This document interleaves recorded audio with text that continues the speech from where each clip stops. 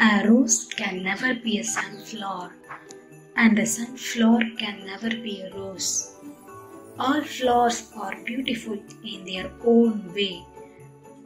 You are beautiful in your own way. Don't compare yourself with others.